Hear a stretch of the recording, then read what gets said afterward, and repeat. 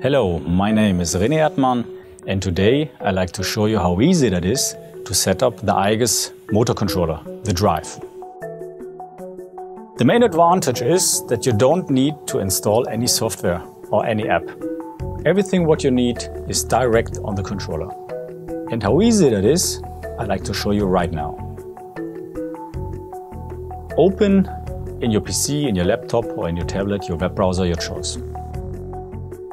Type in the IP address, push the enter button and a few seconds later you will see the surface of the controller. So you're right now live on the controller. We will go to the drive profile. Here you set up all the movements. So we will start in line number one with the homing procedure and the homing procedure is there to find the zero point of the mechanic. So we will drive to limit switch number one. We will use uh, acceleration of 750, a velocity of 50 millimeter per second, and then we will connect from line number one to line number two. Here we will start the real movement the absolute movement. We will move to the position of 5 millimeter. We will use a slow acceleration of 600, velocity of 80 millimeter per second. Then we connect to line number 3.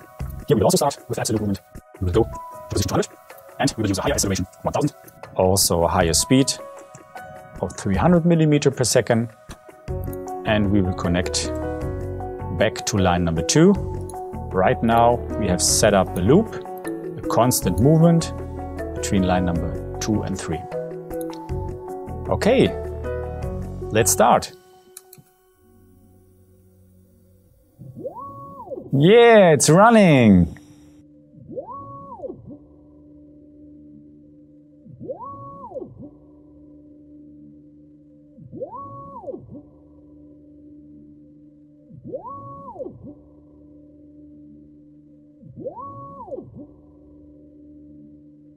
Whoa!